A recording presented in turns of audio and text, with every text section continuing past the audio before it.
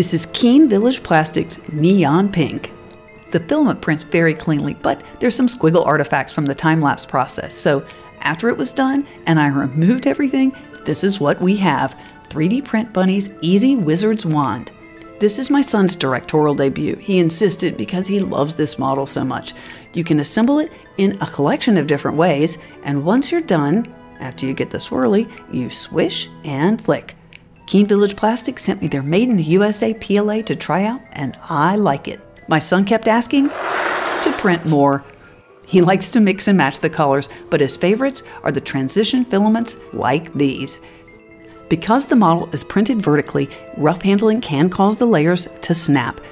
Also, the wand piece is quite pointy, so if you have children you're concerned about, consider using one of the other tips.